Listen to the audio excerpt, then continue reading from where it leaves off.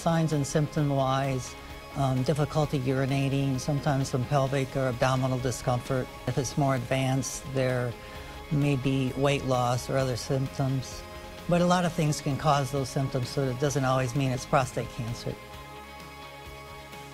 And if you look at the statistics more closely, about 220,000 are diagnosed each year, with approximately 28,000 deaths in the United States each year.